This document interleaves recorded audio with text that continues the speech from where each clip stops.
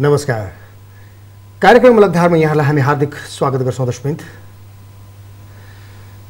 दर्शकबिन्द गत वैशाख बाह्रको भूकम्पपछि तहस नहस भएको पर्यटन व्यवसाय फेरि एकपटक मधेस आन्दोलनपछि र भनौँ भारतको अघोषित नाकाबन्दीपछि अझ मारमा परेको छ।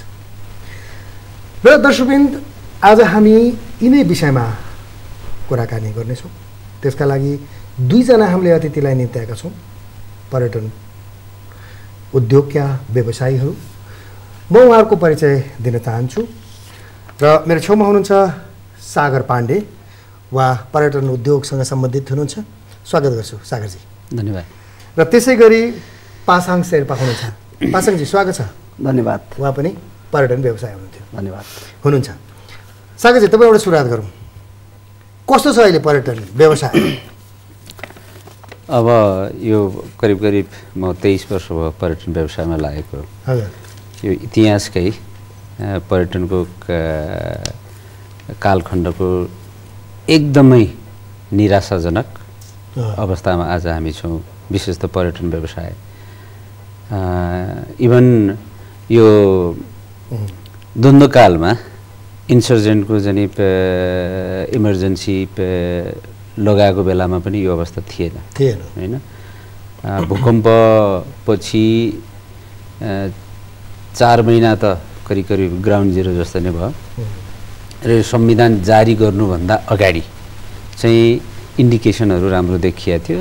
स्वाभाविक रूपमा भूकम्पपछि अघिल्लो वर्षको नम्बरमा हामी पुग्न नसके तापनि एटलिस्ट फिफ्टी पर्सेन्ट चाहिँ मेकअप हुन्छ भन्ने हामी व्यवसायीहरूको अनुमान थियो। तर त्यो के हदसम्म फिफ्टी फाइभ पनि हुनसक्थ्यो होला सिक्सटी पनि हुनसक्थ्यो फोर्टी पनि हुनसक्थ्यो होला। तर त्यसले एउटा ब्रेक इभन र पुर्याउने एउटा अवस्था रहन्थ्यो। र व्यवसायहरूलाई एटलिस्ट चाहिँ त्यसले चाहिँ एउटा आशा होइन? र टु थाउजन्ड सिक्सबाट सिक्स सिक्सटिनबाट चाहिँ पहिलाकै नम्बरमा चाहिँ मेकअप हुने हाम्रो चाहिँ एउटा फोरकास्ट थियो। फोरकास्ट थियो। त्यो चाहिँ यो संविधान जारी भइसकेपछि जुन तराईको बेल्टमा जुन एउटा पोलिटिकल एक्टिभिटिजहरू बढे र अहिले त नाकाबन्दीले त झन् न टुरिस्टलाई खुवाउने ग्यासको कुरा छ न जाने अ, गाडीको व्यवस्था गर्न सक्ने छ होइन कति त प्लेन पनि फ्युल नभएको कारणले भनेर विड्र भएको अवस्थामा अन्तर्राष्ट्रिय मिडियाले चाहिँ यसलाई एकदम हाइलाइट गरेको छ जसले गर्दा पर्यटनलाई अझ प्रत्यक्ष रूपमा नकारात्मक पे- सन्देश गएको छ, पासाङजी अब भनौँ न उहाँले भने जस्तै अहिले एक हिसाबले पर्यटनको पिक सिजन हो। धेरै पर्यटन पर्यटकहरू नेपाल भित्रिने समय होइन। र अब यो सिचुएसनले गर्दाखेरि हुन त इन्टरनेसनल रूपमा पनि उहाँले भनिहाल्नुभयो अ, आफ्नो देशका व्यक्तिहरूलाई नेपाल जाँदाखेरि यो छ है भन्ने कुराको जानकारी पनि विभिन्न देशहरूले दिएको अवस्था छ। अब यस्तो अवस्थामा पक्कै पनि हामीलाई असर गर्छ नि होइन। यसले कति वर्षलाई यसले धकेल्छ जस्तो लागेको छ तपाईँलाई? केही छ? केही फरक आँकडा छ तपाईँसँग? अहिले आएर चाहिँ पर्यटनमा असर परिरहेको चाहिँ राजनीतिक प्रभाव नै हो। पछिल्लो समय भूकम्प पछाडि। जस्तै यो नाकाबन्दी भयो र यो विविध किसिमको तराईको बन्दहरूको कारणले गर्दा चाहिँ यसले असर परेको। तर यदि राजनीतिक कुरामा अहिले केही चेन्ज हुने हो सबै दोस्रो संविधानपछि अब नयाँ बन्ने सरकारले केही कुराहरू नयाँ कुराहरू ल्याउने र केही चेन्जेस ल्याउने हो भने यसले फेरि पर्यटनलाई सघाउ पुग्न सक्छ। यसको पर्यटनको प्रचार प्रचार प्रसारमा फेरि यसले सहयोग पुग्न सक्छ र राम्रो सन्देश जान सक्छ फेरि। भनौँ न अब अब अहिले जुन ल्याक छ नि हजुर। त्यो ल्याकलाई पुरा गर्नको लागि कति समय लाग्ला त अब? यो मेरो इमिडिएटली नै हामी कहाँ फुलफिल भएर आउन थाल्छन् मान्छेहरू? लाग्दैन यसको लागि समय लाग्छ। मेरो मेरो आशा मेरो विचारमा चाहिँ मैले गरिरहेको बिजनेसको हिसाबमा चाहिँ यसले चाहिँ लगभग लगभग एक वर्ष चाहिँ लाग्छ होला यो आफ- भूकम्पपछिको पर्यटनलाई। पहिलेकै ठाउँमा ल्याउन। यदि हामीले मेहनत गऱ्यौँ भने प्राइभेट सेक्टर र गभर्मेन्ट सेक्टरबाट चाहिँ मेहनत गऱ्यौँ भने यसले पहिलेकै ठाउँमा ल्याउन लगभग लगभग एक वर्ष चाहिँ लाग्छ होला। केही छ? क्या मतलब यहाँ आउने पर्यटनमा क्यान्सलेसनको उहरू चान्सेसहरू देख्नु भएको छ अहिले? कि हुन थालिसक्यो? के क्यान्सलेसन भूकम्पपछि अघि हाम्रो उहाँले सागर दाइले भने जस्तै क्यान्सलेसन धेरै भएको। सिक्सटी सेभेन्टी पर्सेन्ट क्यान्सलेसन भएको र पछिल्लो समयमा झन् त्यो क्यान्सलेसन अलिक बढ्दै गएको चाहिँ हो। अब यसले असर त पारिरहेको छ पर्यटन व्यवसायमा तर अब यसको असर कतिसम्म पर्छ भने अहिले हामी तत्काल भन्न सक्ने स्थिति छैन। यो चाहिँ मेनको देशको स्थिति त्यसको यो गभर्मेन्टको हाम्रो सरकारी नीतिमा पनि भर पर्ने भएको कारणले गर्दा हामीले यसलाई चाहिँ वेट नै गर्नुपर्ने हुन्छ। के हुन्छ भन्ने कुरा चाहिँ? अँ, सागरजी। हजुर। अब भनौँ न अब यो स्थिति नाजुकको स्थिति छ भनेर तपाईँले भन्नुभयो। आम्दानीको स्रोत देशको एउटा पर्यटन उद्योग त ठुलै हो होइन? राम्रै इन्कम गर्थ्यो क्यारे देशले होइन? प्रचुर सम्भावना बोकेको देश हो भनिन्थ्यो होइन?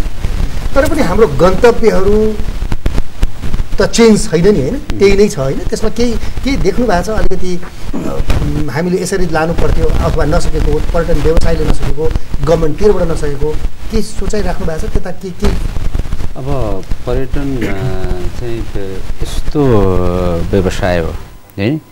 हामीले प्राकृतिक सम्पदाको भर मग्दो उपयोग गरेर पनि पर्यटन विकास गर्न सकिन्छ। र म्यानमेड चिजहरू बनाएर पनि पर्यटनको विकास गर्न सकिन्छ। हाम्रै अगाडि जाने छिमेकी देशहरूमा हामीले हेऱ्यौँ भने सिङ्गापुरमा जाने सबै म्यानमेड चिजहरू त हो नि होइन? तर हामी अब हामी त्यो अवस्थामा म्यानमेड देखाउनु पर्छ भन्ने अवस्थामा हामी हाम्रो अवस्था होइन। हामीले भनेको हामीसित भएको प्राकृतिक सम्पदाहरूलाई र जाने हामीसित भएको कल्चर हामीसित भएको परम्परा हामीसित भएको हिमाल र हामीसित भएको जाने के अरे मनोरम अ, डाँडाकाँडालाई जाने हामीले पर्यटनको प्र- प्रडक्ट बनाउने हो। र पर्यटक धेरै लिएर आउनको लागि फन्डामेन्टल्ली इन्फ्रास्ट्रक्चरै हो।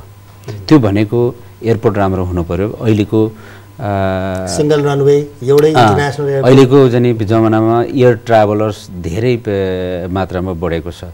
होइन अहिले युएनको युएनडब्लुटिओको रेकर्ड अनुसार पनि एभ्री इयर चाहिँ सिक्सदेखि सेभेन पर्सेन्ट चाहिँ एयर ट्राभलर चाहिँ इन्क्रिज हुँदै गएको छ होइन? त्यो भनेको त इन्कम भएको व्यक्तिहरू नै पर्यो होइन? होइन। सडकबाट आउने। भन्दा पनि त्यसले गर्दाखेरि अब हामीले जबसम्म इन्फ्रास्ट्रक्चरको सही विकास गर्न सक्दैनौँ पर्यटनहरू चाहेर पनि धेरै ल्याउन सकिँदैन। ल भन्नुहोस्। अहिले रारामा फास्ट्याग त्यहाँ जाने राम्रो रोड पुग्ने हो भने तपाईँ हामी पनि त्यहाँ कति जान्छौँ? जाँदैनौँ। इन्टर जान्छ होइन। भनेपछि अब हामीले त्यस्तो ठाउँ राम्रो हुँदा हुँदै पनि पर्यटकलाई लान सकिएको छैन। किन? त्यहाँ लानको लागि एक महिनाको समय चाहिन्छ। जान आउन प्लेन क्यान्सिल हुने दुनियाँ दिवाना गर्दाखेरि। र त्यसले खर्च पर्यटकको खर्च बढ्ने समय बढ्ने। अहिलेको फेरि ट्राभलिङ टेन्डेन्सी के हो भने मान्छे एकदम क्यालकुलेटर छ। यो जाने इन्टरनेटको कारणले गर्दा उसलाई कुन ठाउँमा जान कति समय लाग्छ र कति पैसा खर्च गर्ने भन्ने कुरा हिजो हामीले भर्खर व्यवसाय सुरु गर्दाखेरि एउटा ट्राभलर चाहिँ एक हजार डलर खर्च हुन्छ भन्ने उसको अनुमान थियो भने उसले चाहिँ दुई हजार डलर तिन हजार डलर बोकेर आउने अवस्था थियो। के हुन्छ हुँदैन। अब दस दिनको लागि ट्रिप छ भने पन्ध्र बिस दिन चाहिँ टाइम छुट्याएर आउने जाने अवस्था थियो। अहिले त्यो छैन। होइन ट्राभलरहरूले चाहिँ क्यालकुलेट गरेर टुरिस्टहरूले चाहिँ म नेपाल जान्छु त्यहाँ फ्लाइटमा यति घन्टा लाग्छ ट्रेकिङ दस दिनको गर्छु अनि फर्केर आउँछु भनेर क्यालकुलेटिभ हिसाबले अहिले ट्राभलर्सहरूको टेन्डेन्सी चाहिँ त्यसरी छ। त्यो भए हुनाले यदि हामीले पर्यटनको कुरा गर्छौँ भने इन्फ्रास्ट्रक्चरै हो। जस्तै प्राइभेट सेक्टरले गर्ने भनेको के हो भने हामीले लगानी बढाउने हो। चाहे एउटा सानो रेस्टुरेन्ट होला चाहे सानो गेस्ट हाउस होला होटेल होला ट्राभल कम्पनी होला जाने ट्रेकिङ कम्पनी होला माउन्टेनरिङ होला त्यो चाहिँ प्राइभेट सेक्टरको कन्ट्रोलमा छ। भोलि सम्भावना देखियो भने तपाईँ हामी सबै लगानी गर्न तयार छौँ। किनभने मान्छे अपर्च्युनिटी गुमाउन चाहँदैन। तर अपर्च्युनिटीको इन्डिकेसनै यहाँ देखिएन। पहिला कुरा त हाम्रो पूर्वाधारहरू यस्तो न्यू अहिलेको ग्लोबल टुरिज्मलाई ट्याप गर्नको लागि हाम्रो इन्फ्रास्ट्रक्चरै जाने छैन। होइन? जस्तै भनौँ। र त्यसको जाने ए- एभिएसनबाट सुरु होला। हाम्रो नेपाल एयरलाइन्स हेर्नुहोस्। तपाईँको हिजो बरु नाइन्टीको दशकमा नेपाल एयरलाइन्सको जुन इज्जत थियो आज त्यो छैन। त्यो हिसाबले चाहिँ हामीले के बुझ्नु जरुरी छ भने कुनै पनि देशको पर्यटन चाहिँ केले प्रमोट गर्छ भने त्यो देशको फ्लाइट क्यारियरले उ गर्छ। National flight. होइन? अहिले भन्नुहोस् टर्किस एयरलाइन्स नेपालमा आयो र टर्की भन्ने देश नेपालीहरूको मुखमा झुन्निएको छ। होइन? टर्कीमा जाने यस्तो विकास हुँदै गएको छ। भनेर चाहिँ अहिले कुरा आइरहेको भने हाम्रो एयरलाइन्स जर्मनमा फ्रेङ्कफर्ट जाने भने धेरै जर्मनहरू जाने सिधै जाने त्यहाँबाट जाने। पहिलो कुरो त फ्लाइट सस्तो हुन्छ मान्छेको टाइम सेभिङ हुन्छ अनि एभाइबिलिटी हुन्छ। फेरि हाम्रो के छ सिजनल। अहिलेसम्म नेपालको टुरिज्म विगत पाँच वर्षभन्दा अगाडिसम्म। तपाईँको वेस्टर्न अमेरिकन र एसियन अनि त्यसपछि अस्ट्रेलियन टुरिस्टले चाहिँ धानेको। अबको जमानाको अबको टुरिस्ट भनेको चाहिँ क्रस बोर्डर टुरिज्म हो। जस्तै जति जनि छिमेकी देश विशेषतः जनि तपाईँको भारत र चिनमा इकोनोमिक ग्रोथ हुँदै जान्छ अब हामीले ट्याप गर्नुपर्ने त्यो हो। त्यस भएर अहिलेसम्म युरोपियन अरू वेस्टर्न कन्ट्रीको टुरिस्टको हकमा चाहिँ हामी सिजनल छौँ। किनभने उहाँहरू चाहिँ धेरै ट्रेकिङको लागि आउने र नेपालमा दुई सिजन चाहिँ राम्रो हुन्छ स्प्रिङ र अटम भनेर होइन? अनि अब क्रस बोर्डर बोर्डर टुरिज्मको चाहिँ एक्सपेक्टेड के हुने भने जस्तै गर्मीमा इन्डियामा जाने बिदा हुन्छ। गर्मी छलमा। जाने तपाईँको जाने मान्छे यहाँ आउने हुन्छ जुन हाम्रो बर्खा हुन्छ तपाईँको यहाँ अफ सिजन हुन्छ टुरिज्मको होइन? जस्तै चाहिँ Chinese new year Chinese new year यो जाने तपाईँको विन्टरमा पर्छ जुन बेला हाम्रो जाने अफ सिजन हुन्छ होइन? त्यसले गर्दाखेरि अब यस्तो सम्भावना भएको देशमा हामीले फास्ट ट्र्याक र हाम्रो इन्फ्रास्ट्रक्चरको लिङ्किङ गर्न सक्यौँ भने मात्रै जस्तै एउटा उदाहरण म यहाँलाई दिन चाहन्छु। आजभन्दा दस वर्षसम्म लासामा तपाईँको टुरिस्ट जाने तपाईँको पचास हजार जाने त्यस्तो मात्रै जाने आउँथ्यो त्यो। चाइनिजहरूको हकमा पनि वेस्टर्नरहरूको हकमा पनि। तर अहिले दस वर्षको उसमा चाहिँ तपाईँको एक करोड पुग्न लागिसक्यो। लासामा जाने विदेशी र जाने चाइनिज टुरिस्ट लासा जाने तपाईँ टिबेट ट्राभल गर्न आउने जाने एक करोड पुग्न लागिसक्यो। हामीले जाने इमेजिन गरौँ न।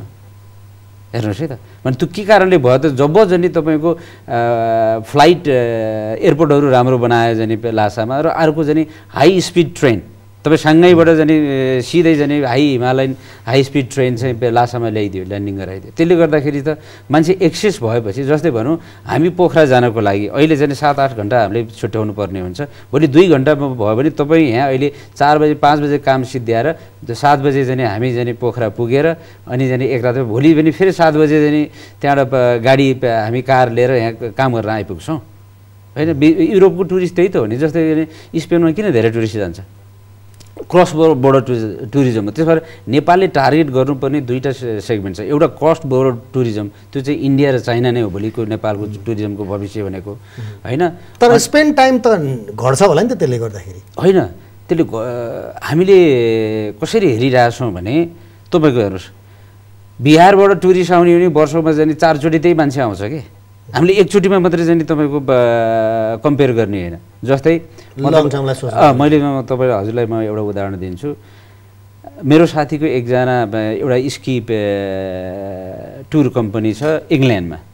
उहाँले कहाँ लैजानुहुन्छ? अस्ट्रियामा लैजानुहुन्छ। अस्ट्रियाको जाने तपाईँको विकासको फन्डामेन्टल आधार भनेको टुरिज्म हो। त्यहाँ हिउँ परेन भने टुरिस्ट जाँदैनन् विन्टरमा। स्की चल्दैन। होइन टुरिज्म हाम्रो यहाँ जाने भूकम्प आए जस्तै कोल्याप्सै हुन्छ डाँडामा हिउँ भएन भने। अनि त्यहाँ उहाँको क्लाइन्ट्स के छ भने तपाईँको नोभेम्बरबाट स्की सिजन सुरु हुन्छ। नोभेम्बरदेखि अप्रिलसम्म एउटै सिजनमा एउटै फ्यामिली दुई तिनचोटिसम्म जाने स्की खर्न जाने जान्छ क्या। त्यस भएर हामीले एउटा एराइभलमा मात्रै हेऱ्यो भने चार दिन होला। तर चाहिँ तिनचोटि आउँदा चार दिन बाह्र दिन भयो। भनेपछि त्यस्तो हुन्छ क्रस बोर्डर टुरिज्मको चाहिँ फाइदा त्यो हुन्छ र अर्को के भन्छ भोल्युममा आउँछ। होइन? भोल्युममा आउँछ र अ, भोलि चाहिँ दिगो पर्यटनको आधार चाहिँ त्यो हुन्छ। होइन? र फेरि जाने कस्ट बोर्डर टुरिज्म भन्दाखेरि लङ टर्मलाई हामीले सोच्न सकेन भने चाहिँ पासाङजी म तपाईँलाई सोधिहाल्नु होइन? हाम्रोमा अब यति कुराहरू रहेछन् होइन? धेरै कुराहरू हामी ल्याक पछाडि छौँ होइन? यस्तो कुराहरू। हजुर। भन्दाखेरि हामीमा पर्यटन क्षेत्रमा राजनीति हाबी भएको छ? केही केही केही लागेको छ तपाईँलाई? केही केही? मेरो विचारमा पर्यटन क्षेत्रमा राजनीतिक हाबी भन्दा पनि गभर्मेन्टले चाहिँ नेपालको नेपाल एकदम पर्यटनको लागि प्रचुर सम्भावना बोकेको देश हो होइन? हरियाली नेपालको पहाड नेपाल आफैमा पर्यटनमय छ। यहाँ हामीले कुनै ठाउँ बनाउनु पर्छ त यसलाई चाहिँ सरकारी नीति यसले यस्तो किसिमको ट्र्याकमा ल्याउनु पऱ्यो कि जसरी विदेशमा जस्तै अघि उहाँले कराउनु भयो जस्तै जसरी विदेश जस्तै लासाहरू कसरी चेन्ज भइरहेछ एभ्री डे पर्यटनको लागि। त्यसरी नै हामीले फास्ट ट्र्याकमा चाहिँ यसलाई चेन्जमा ल्याउनुपर्छ पर्यटनको लागि चाहिँ नीति तयार पार्नु पऱ्यो एउटा पर्यटनको नीति अन्तर्गत इन्फ्रास्ट्रक्चर इन्फ्रास्ट्रक्चर डेभलपमेन्टदेखि लिएर डेभलपमेन्टको कुराहरूलाई चाहिँ अगाडि लान सक्यो भने हामीले गर्न नसकिने ठाउँ चाहिँ छैन। नेपाल चाहिँ मेरो विचारमा चाहिँ विश्वको एक नम्बर वान ट्रेकिङ र ट्राभल डेस्टिनेसन हुनुपर्ने हो। भन्दाखेरि पोलिसी छैन भन्नुभयो तपाईँले। हजुर यो पोलिसी हजुर पोलिसी मेकरहरूलाई घचघचाउने काम तपाईँले गर्नुभएको छ? नर्मली प्राइभेट सेक्टरबाट चाहिँ विभिन्न सङ्घ संस्थाहरूले यो काम चाहिँ टाइम टु टाइम गरिरहेको हुन्छ। तर पनि अब गभर्मेन्टले चाहिँ नेपालको गभर्मेन्टले चाहिँ टुरिज्म सेक्टरलाई चाहिँ एउटा उद्योग मेन उद्योगको रूपमा लिज दिनु पऱ्यो जुन जस्तै कृषिलाई मेन उद्योगको रूपमा लिएपछि सेकेन्डमा पर्यटनलाई लिनुपर्ने हो। जुन तर पर्यटन भनिए तापनि ठ्याक्कै त्यो त्यस्तै किसिमले चाहिँ पर्यटनलाई त्यस्तै किसिमले ट्रिट गरिदिएको छैन। तर विदेशमा मैले बुझेअनुसार मैले जुन देशमा ट्राभल गरेँ त्यो ठाउँमा चाहिँ सरकारले नै पर्यटन क्षेत्रलाई विकासको लागि के गर्नुपर्ने भनेर उनीहरूले पहिले नै उनीहरूको पर्यटनको नीति तयारी कुन ठाउँमा कसरी ट्र्याक लाने कसरी विकास गर्दै लाने र कसरी चाहिँ टुरिस्टलाई चाहिँ म्याक्सिमम् अरू देशको टुरिस्टलाई त्यो देशमा ल्याउने र चिनाउने भनेर उनीहरूको चाहिँ तयारी हुन्छ सबै ठाउँमा। त्यसको मतलब विकास हुन्छ। अब हाम्रो छेउमा त्यो विकास त्यसरी तत्काल त्यसरी गइरहेको छैन। मेरो अध्ययनमा चाहिँ म त्यो देख्छु। सागरजी के केही छ कुरा? ग्लोबल टुरिज्म मार्केटमा चाहिँ चाइनिज टुरिस्टको पर्सेन्टेज बढ्दै गयो ट्राभलर्सको? पछिल्लो समय। पछिल्लो समय। त्यो मार्केट ट्याप गर्न रसियाले पनि योजना बनाए अमेरिकाले पनि योजना बनाए र अहिले भर्खरै जाने कति पाँच छ महिना भयो अस्ट्रेलियाले योजना बनाएको छ। उसले के गरेको छ भने टोटल चाइनिज टुरिस्टको चाहिँ चाइनिजहरूको बिहेभियर के छ टुरिस्टको होइन?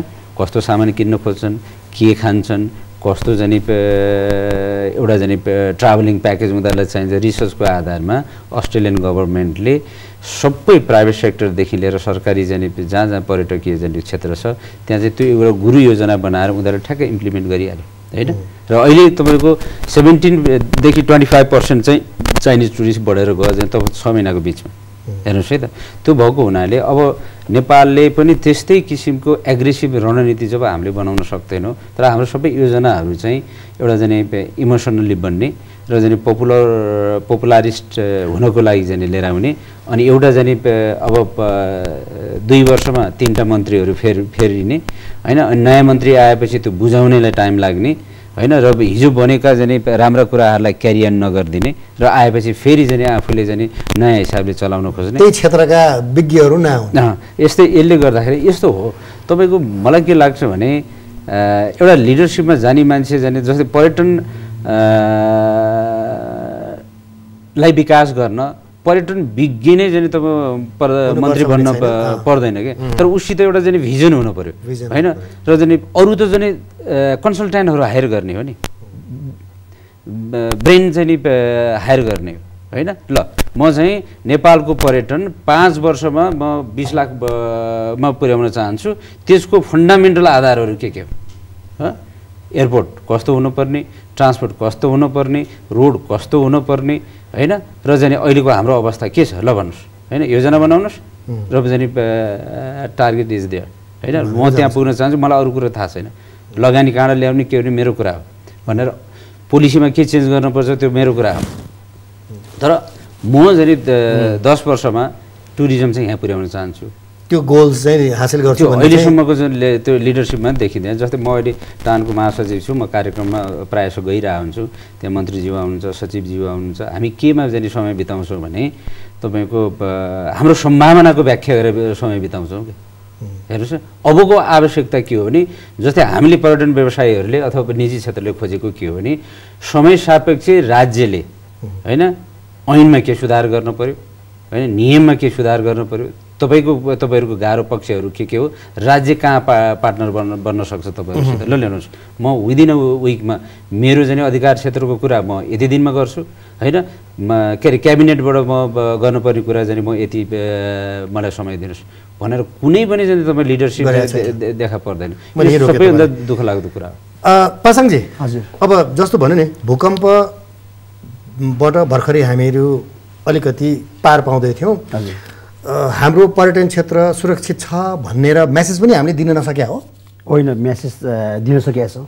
म्यासेज हाम्रो गभर्मेन्ट तहबाट गर्नुपर्ने कामहरू गरिरहेको छ जस्तै हाम्रै छात्र सङ्गठन टानले पनि गरिरहेको छ यसको म्यासेज प्रचुर मात्रामा गइरहेको छ। भूकम्प गएको अब लगभग लगभग छ महिना भइसक्यो छ महिनाभन्दा बेसी भइसक्यो। सम्भावना गइरहेका छन् र टुरिस्टहरू आउने क्रम जारी नै छ।